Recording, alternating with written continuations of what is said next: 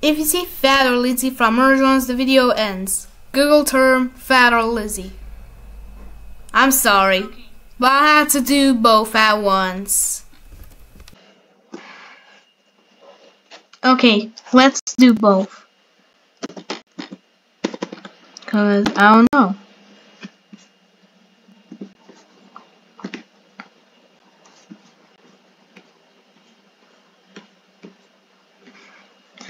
I don't be a specific one. I'll just do both so you guys can stop commenting anything that has to do with murder drones because I don't know.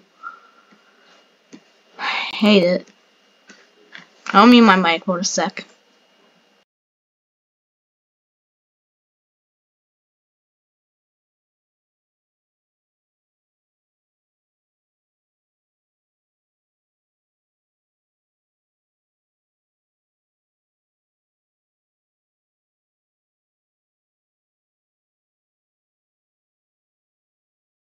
So I did found here, but what about the other one?